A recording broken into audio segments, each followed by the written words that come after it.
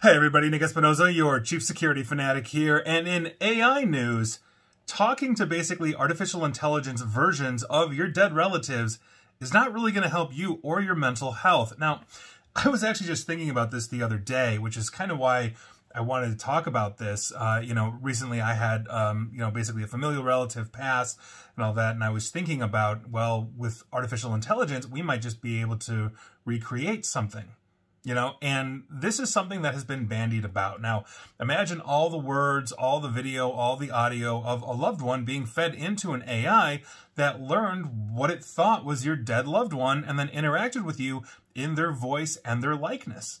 That's what we're talking about. And we've seen people use chatbots and all of that before, but with the rise of artificial intelligence and the ability to create video at will, which is something OpenAI is now uh, basically about to unleash on the world for good or bad, disinformation beware, this is essentially what's being developed. But there are some negative side effects. And so I wanted to just basically talk about what that is because I did my homework and I went looking at actual studies from mental health publications on this and this is something that I think is going to be detrimental in the long term. And so constantly interacting with an AI version of a deceased loved one would essentially impede the natural grieving process. It may leave individuals stuck in that state of denial, as in, no, they're not actually dead because they're right in front of me on the screen and I can talk to them and they can talk back. Now, this could also lead to more prolonged grief and other mental health issues as well as somebody eventually realizes, no, this is just a series of algorithms that I'm talking to and not actually my dead mother, father, sister, cousin, whatever. So on top of that, there is a risk that people may basically become overly dependent on this type of technology and therefore start prioritizing interactions with AI versions of basically the deceased ones as opposed to going out and forming new real life relationships. This is the same issue we've got with AI girlfriends and boyfriends. I did uh, basically a video and podcast and radio segment on that a while back, and that was on the data mining side. But think about those lonely people that now become dependent and start anthropomorphizing, I guess, the artificial intelligence that is really a real person. I recently saw an interview uh, uh, uh, with a, basically with a guy, I believe he was in Japan or China, that said, I, re I really believe in like another dimension that my AI girlfriend is real.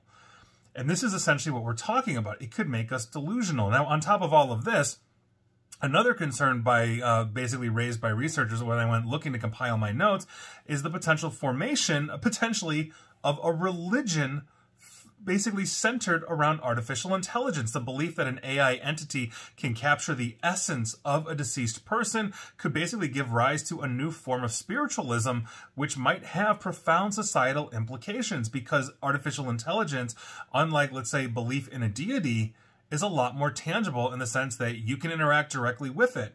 And there are a lot of people out there that think God speaks to me. I am not adjudicating that or judging that. If that's what you believe or, or that's what you really feel, I'm not saying that's false. But with an artificial intelligence, you can press a button, you can get a response, people can review that response as well. And so this could challenge existing religious and philosophical beliefs about life, death, and the afterlife as well, which isn't necessarily a bad thing, but the dependency on technology continues to get worse. And, and the crux of the debate here is, can a machine trained on simply text, audio, video, pictures, etc., really recreate somebody's emotions, their experiences, and give them moral agency? Can an AI truly capture the essence of what a person is. I don't think so.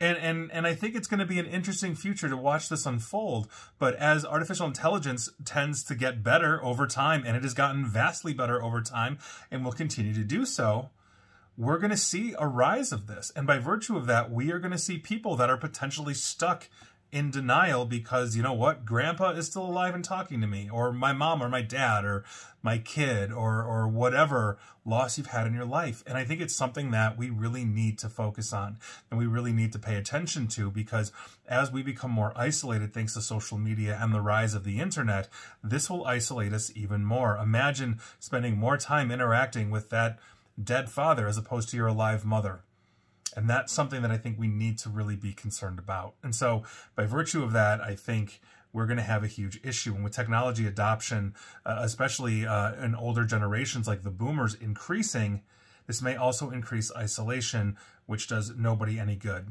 not to mention potential scams and everything else If somebody creates an AI that basically says, Grandpa says, send him $10,000. And I think that's another thing that we have to worry about as well. So I'll leave it at that. But that is your interesting news of the day, and I'd love to have a conversation on it. So please feel free to interact with me on any of my social media platforms or wherever I post this.